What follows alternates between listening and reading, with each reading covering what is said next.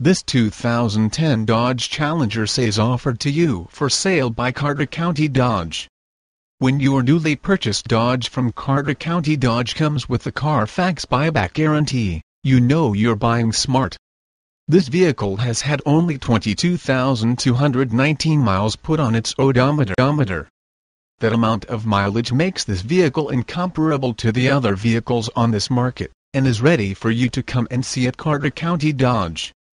This Inferno Red Dodge is clean and shiny exterior makes it look like it came straight from the factory.